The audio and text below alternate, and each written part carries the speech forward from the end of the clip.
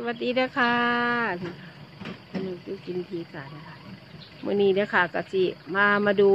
กาหลงตายพายเด้อค่ะ กาหลงตายพายกาหลงยืนต้นตายเด้อค่ะอันนี้ค่ะกาหลงเป็นกะเนี่ยค่ะ อันเนี้ยกาหลงต้นเป็นเนี่ยค่ะ กาหลงต้นเป็น อันนี้ก็สิเป็นกาหลง กาหลงใต้พายเด้อค่ะอันนี้เด้อค่ะ เขาก็สิมีถาสมมุดว่า ต้นมันเป็นลักษณะจังสี่แล้วเด้อค่ะ เขาก็จะมีวันเอาขึ้นเด้อค่ะ ของนกก็สิได้ขึ้นเดือนหนาเด้อค่ะ อันนี้ก็สิอยู่หน้าบ้านเด้อค่ะ อันนี้ก็สิอยู่บริเวณหน้าบ้านนะคะ คือว่า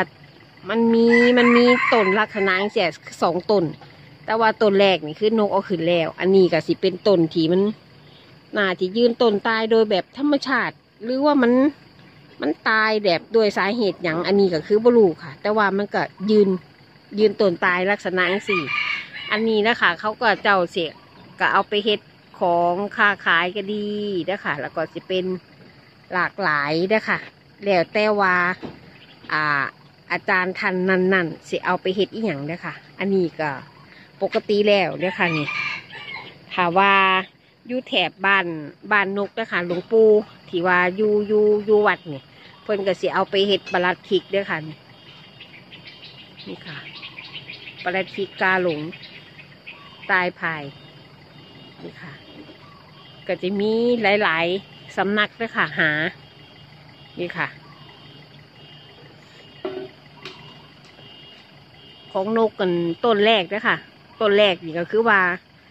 กะมีพระนะคะเพิ่นเพิ่นมาขออะกะให้ให้แบ่งกันนะคะเนาะเพราะว่านั้นเป็นต้นแรกนะคะนี่ค่ะ อันนี้ก็จะเป็นต้นที่สองนะคะ แต่นก เนี่ยมันก็สีมันใหญ่นะคะต้นนี้เนี่ย ถ้าพูดถึงว่าล้ำต้นของเขานี่ค่ะ นี่ นี่ มันเฮ็ดได้หลากหลายค่ะ อันนี้แล้วแต่เฮาสิเอาไปเฮ็ดแต่ก็แล้วแต่เฮาสิเอาไปปลูกสกว่าจะให้เป็นทางทางใดแต่ส่วนมากแล้วเขาเจ้าก็เสียไปเฮ็ดเป็นอ่าของขายของดีนะคะเนาะจะเอาไปเขาในพิธีปลูกเสก หรือพระอาจารย์ เจจิสายรูปใดหรือจะเป็นเราอ่าบรรดามักในศาสตร์นี่แล้วค่ะ เนี่ยค่ะ เขาก็จะเอาไปเห็ดกันเนี่ยค่ะต้นใหญ่ค่ะต้นนี้ถ้าต้นเป็นกับสีต้นนั่นค่ะ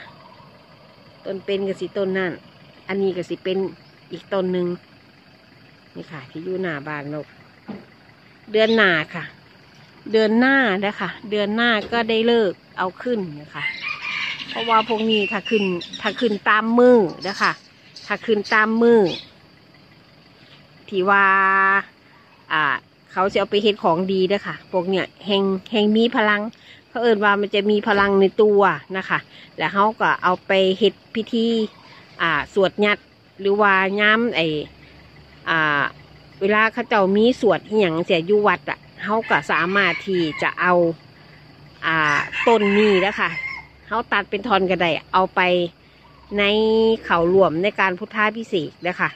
บอบอจำเป็นที่ต้องเฮ็ดเป็นรูปนั่นรูปนี้ก็ได้เลยค่ะ ขอแต่ว่าให้เป็นเป็นเป็นใหม่ตายพายลักษณะอย่างสี่